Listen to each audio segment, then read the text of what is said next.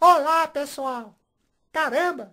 Foram mais de sete anos entre pensar e fazer este filme para vocês. Escrever, desenhar, colorir, montar, colocar o som, criar as vozes, enfim, para dar vida e cor para esta história. Um trabalhão danado, feito com muito carinho por toda a equipe, e que hoje está aqui prontinho para vocês curtirem.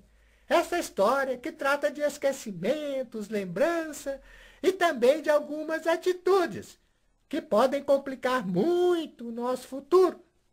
Ó, oh, parabéns para aqueles que trouxeram brinquedos usados. Certamente farão felizes os velhinhos do asilo. Eles também gostam muito de brincar, para soltar a imaginação e também para relembrar os velhos e bons tempos de crianças sapecas. Valeu mesmo! Parabéns também para aqueles que se esqueceram de trazer brinquedos usados. Tem problema não! Depois vocês trazem. Combinado? Então, vamos à história da Revolução dos Brinquedos!